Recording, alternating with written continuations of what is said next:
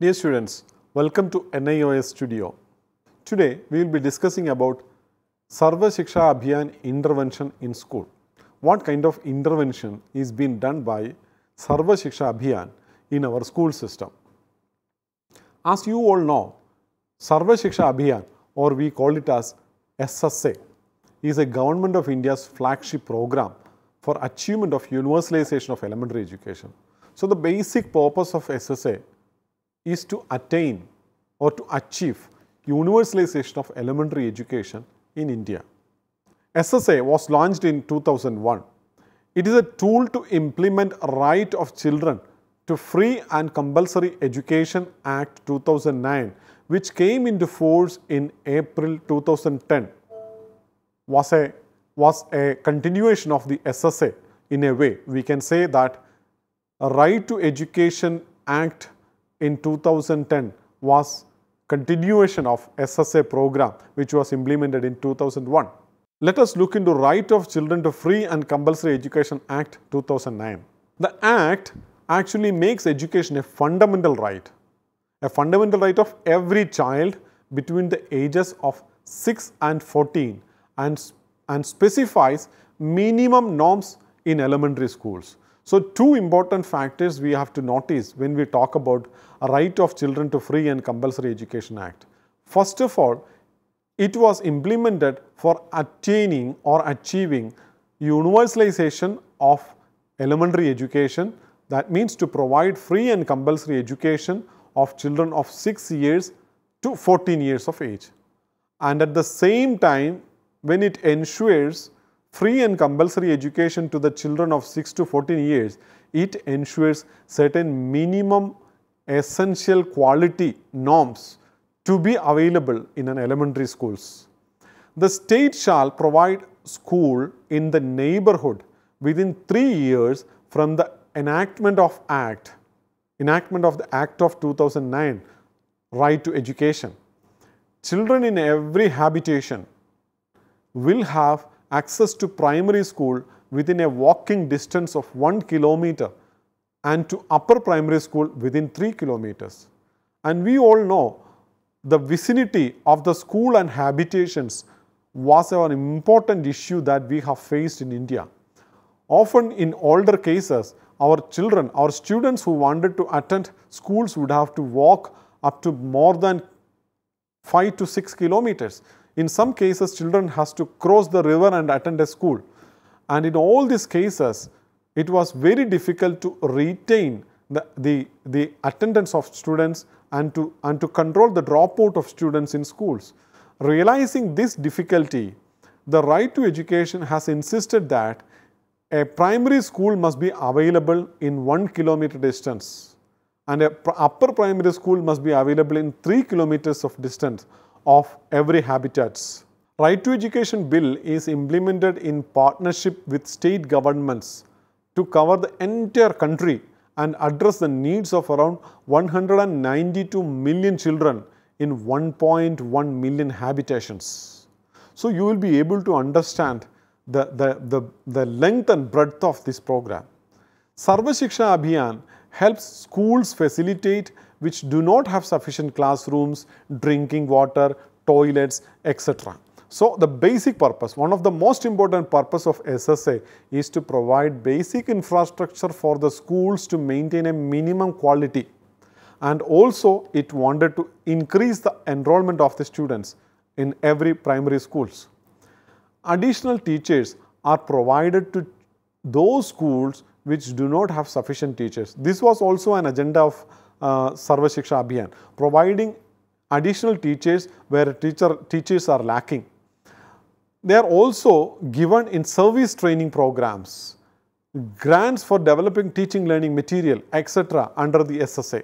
So, SSA provided in-service training program. SSA has the provision for providing training for the teachers to be more proficient in their subjects, to be more proficient in their pedagogy and methodological activities and also it provided teachers and schools support for acquiring and for procuring teaching learning materials, laboratory materials and several other materials which are essential for successful and high quality teaching.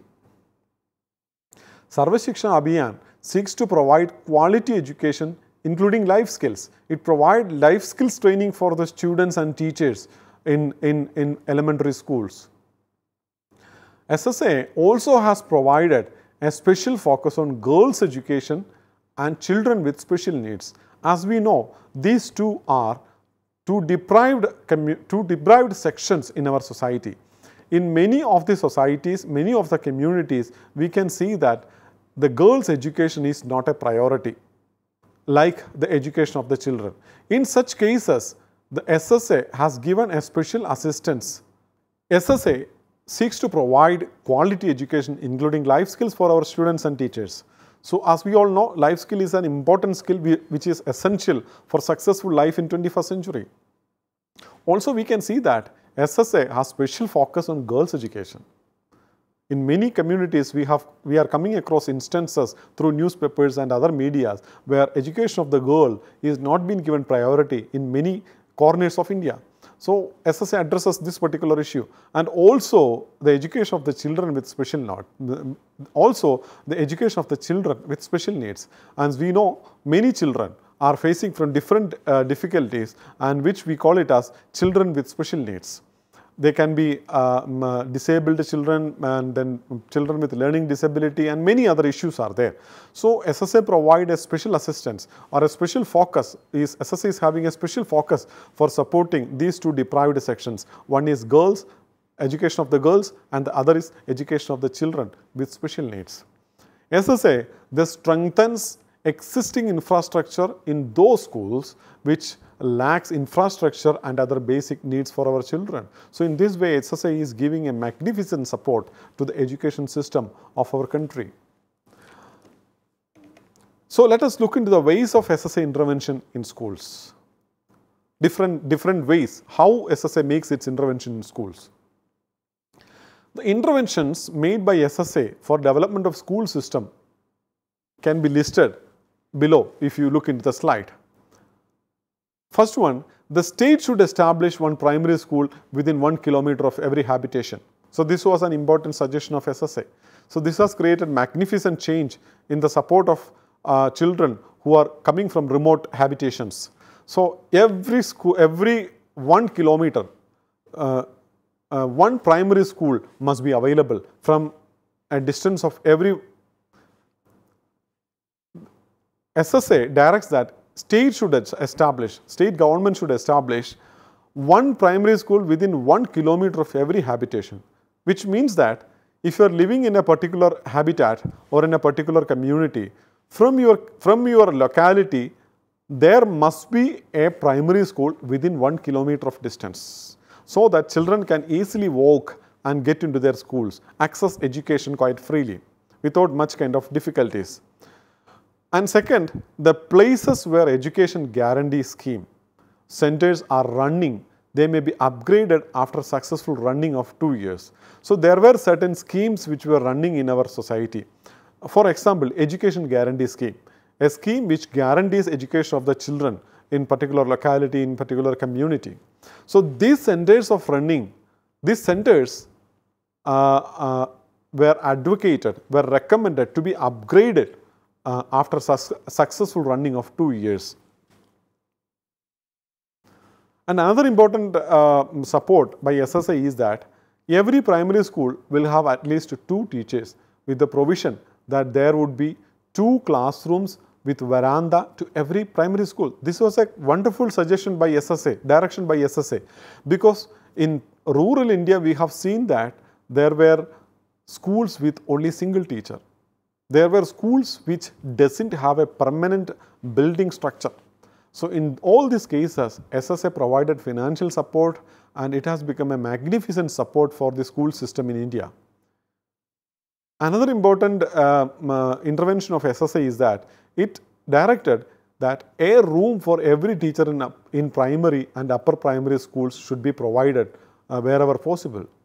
And then again we have seen that SSA has suggested a room for headmaster in upper primary school or section to facilitate the working of the school. So, it altogether we can see that SSA has given extensive support in increasing the infrastructure which is essential for the functioning, material functioning of the, of these schools.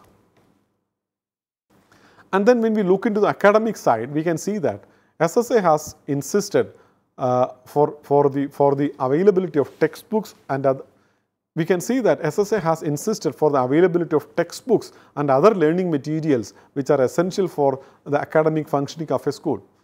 Textbooks are still the backbone of teaching learning at any level of education.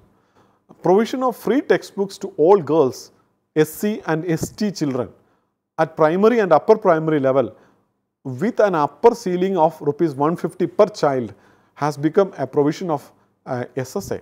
So, this provision of SSA has become a great support for the children who are coming from scheduled caste and scheduled tribe community and also for girls children who are financially backward and who could not afford textbooks for their children, for their, for their education, textbooks for their education.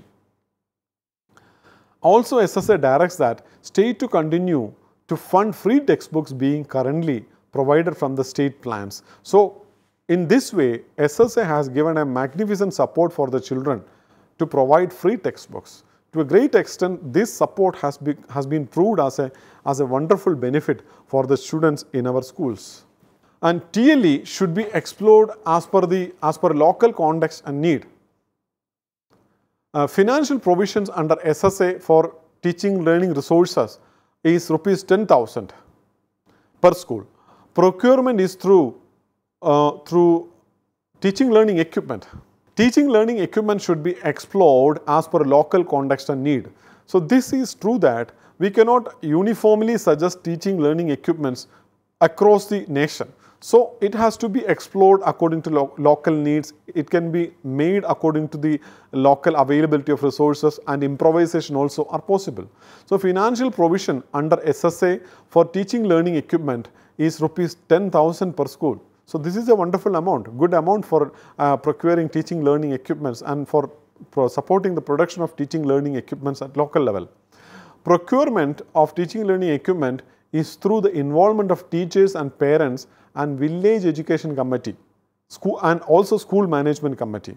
So, that means that the community involvement of of uh, the uh, different agencies in community is being ensured by the Sarva Shiksha Abhiyan in providing an academic and administrative and a managerial supports to the schools. A school involves the building as well as we have already discussed. To control the expenditure on civil works, a ceiling of 33% of SSA program funds is provided for improvement of school facilities and BRCs or CRC construction. BRC means Block Resource Center, CRC means Cluster Resource Center. So, SSA has ensured extensive support for the construction of building, maintenance of building, uh, construction of building for the Block Resource Center, Cluster Resource Center, etc. Infrastructure plan is to be done at district level so that expertise is provided to optimize resource planning. So, also SSA did not ins insist for a centralized support. Uh, instead, SSA provided a district level support so that more resources, human, material and other resources can be drawn from local area for building up of schools.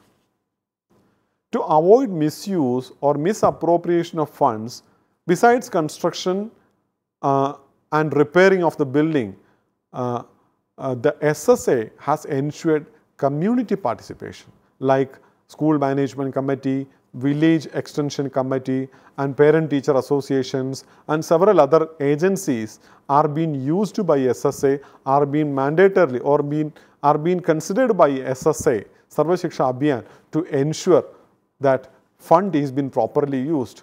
Proper effectiveness of the money spent is being done all this been done through uh, proper community participation.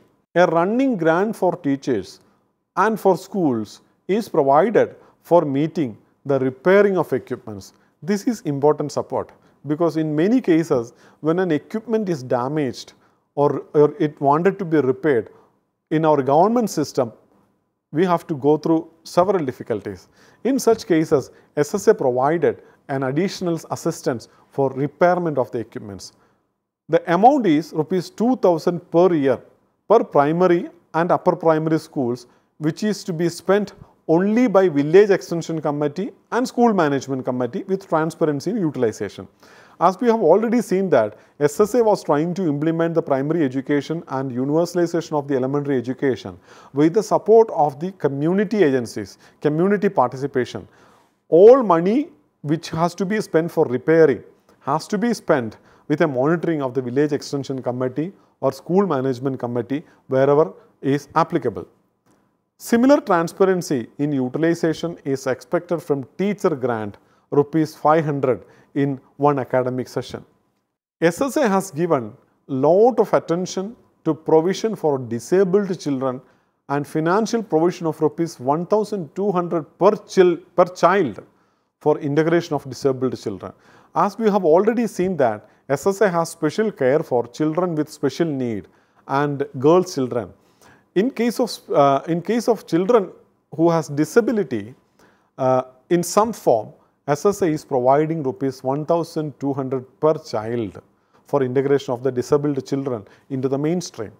Other district level and resource institutions to be encouraged to participate for education of disabled children also is being promoted by Sarva Shiksha Abhiyan.